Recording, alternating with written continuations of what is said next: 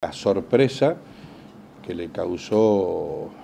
tanto al, fiscal de San Martín, que es quien lleva la causa juntamente con, la Fuerza de Seguridad,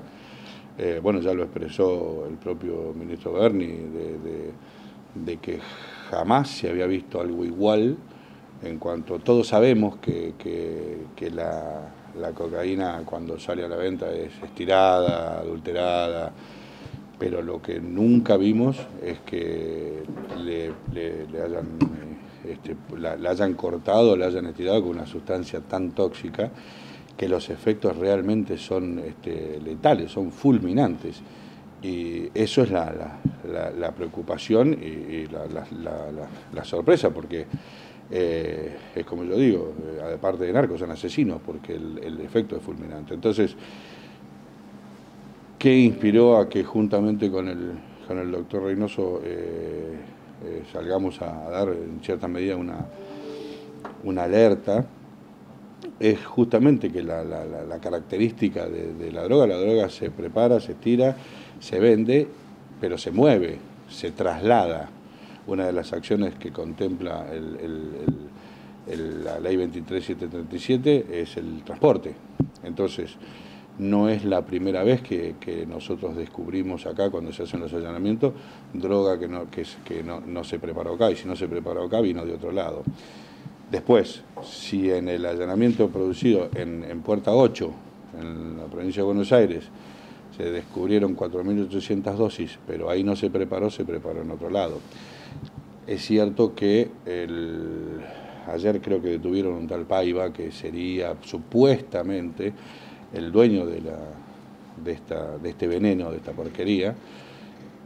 y se le secuestraron 15.000 dosis. Ahora, mientras nosotros no sepamos que, eh, que esa droga quedó ahí, porque aparte hay casos, no solamente en el Partido de Febrero, hay casos en Martínez, en San Isidro, en, varios lados, en varios este, lugares de la provincia de Buenos Aires. Entonces, eh, podemos, podemos decir no, a Catamarca no, no, no va a llegar, no, no lo podemos decir. Y si no podemos decir eso, entonces hay que alertar lamentablemente eh, con un total sentido de prevención y sobre todo de salud pública, es decir, al que haya adquirido droga en las últimas 48 horas, que la descarte, porque eh, si bien es cierto hay unas características en el envoltorio, que es un rectangulito cosido a los dos costados, color rosa o color salmón, este, no podemos descartar que haya venido preparado de otra manera. Eh, eso es, sobre todo, es prevencional. Nadie va a discutir eh, y todos sabemos que, la droga mata, sea este, pero no de esta manera, no con este. Esto, esto es un acto completamente criminal, porque aparte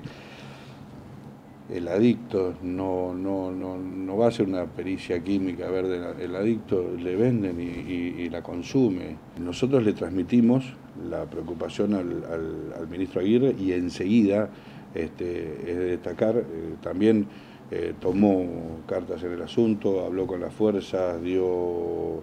eh, partes de alerta por si había algún allanamiento y se encontraba un uno